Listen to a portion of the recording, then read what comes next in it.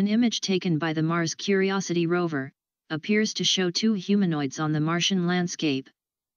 Once we adjust the brightness and zoom, we can distinctly see two human-like figures, who appear to be investigating an unusual object on the Martian surface.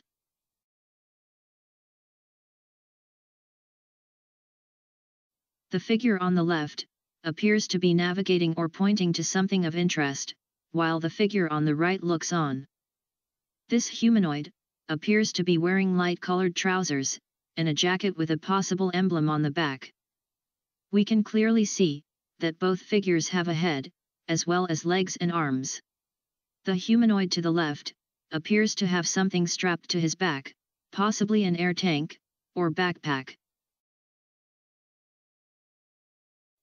The strange object which is half buried in the Martian sand, is not a rock formation. If we look closer, we can see a nose, similar to an aircraft, here. As we move up, we can see the possible cockpit of the craft, we can even make out the windows and metal supports.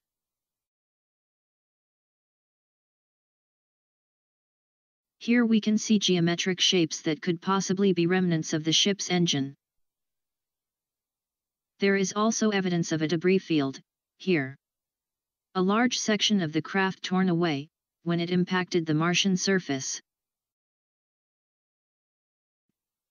This tube-like mound, looks very similar to the fuselage of an aircraft, half buried in the sand.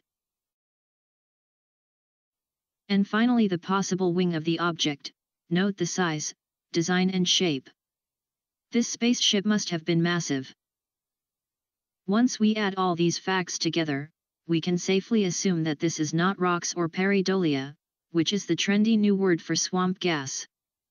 This is quite clearly a derelict spacecraft, possibly thousands of years old. Could this be more evidence of life on the red planet, whether it's indigenous or otherwise? The case against NASA and its duplicity is mounting.